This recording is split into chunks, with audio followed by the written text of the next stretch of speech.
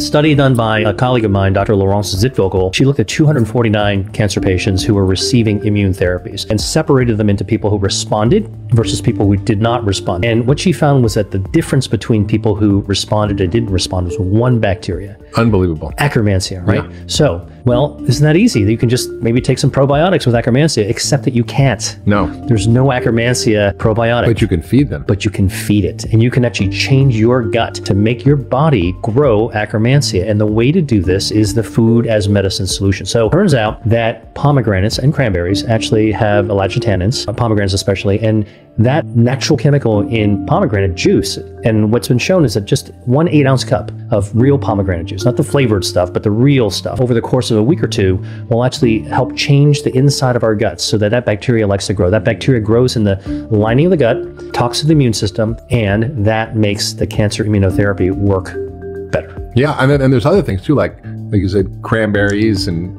and green tea. Many things can actually and, feed our microbiome, right? So yeah. plant-based foods have, you know, I think it's completely accepted now. It's not challenged that plant-based nutrition is actually the healthy approach to life.